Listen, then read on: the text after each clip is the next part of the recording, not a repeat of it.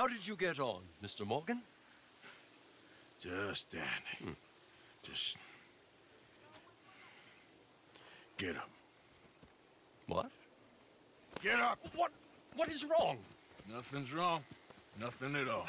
What are you doing? Something I should have done a long time ago. Get your bag. Is this it? I don't understand. I ain't gonna kill you, though I probably should. You disgust me.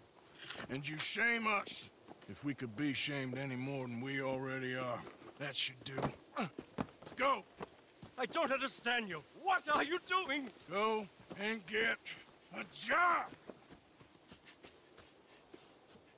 You know, they, they say the sick delude themselves.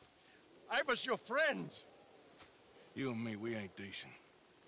But those folk, they was. Now here, take that.